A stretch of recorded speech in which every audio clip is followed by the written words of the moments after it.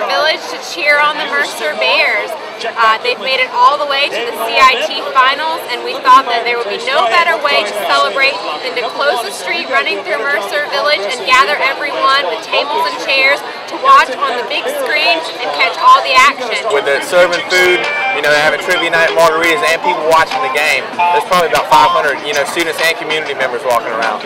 I think it's great that uh, Mercer and the athletic department and the College Hill uh, Alliance and In-Town Macon all got together and put this up here. The weather is absolutely beautiful tonight. It's a really special evening. It's a great picture.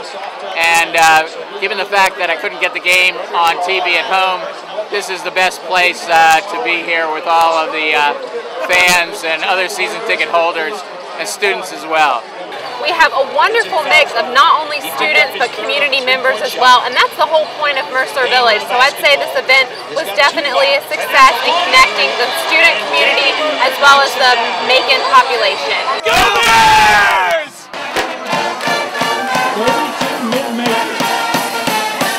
Started this run, now just two left. Go Bears! This is an historic season for our basketball program. It's the most wins ever in the history of our university. It's the furthest into postseason play uh, we've ever gone. And I'm really proud of these uh, great young men who are representing us. They're, uh, they're great students and uh, really fine young men and, and really skillful basketball players who work well together as a team. So to me, they, they represent the best of college athletics, and I'm glad they're doing it on behalf of Mercer University.